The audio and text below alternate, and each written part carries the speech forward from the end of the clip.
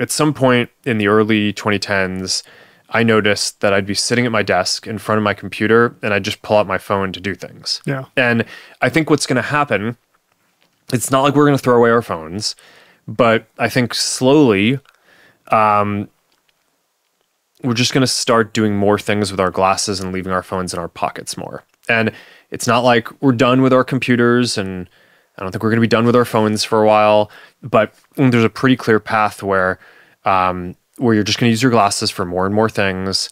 And over time, I think the glasses are also going to be able to be powered by wrist based wearables or other wearables. So you're going to wake up one day 10 years ago from now and you're not even going to need to bring your phone with you. Now, you're still going to have a phone, but I, I think like more of the time people are going to leave it in their pocket or leave it in their bag or eventually even some of the time leave it in their at home.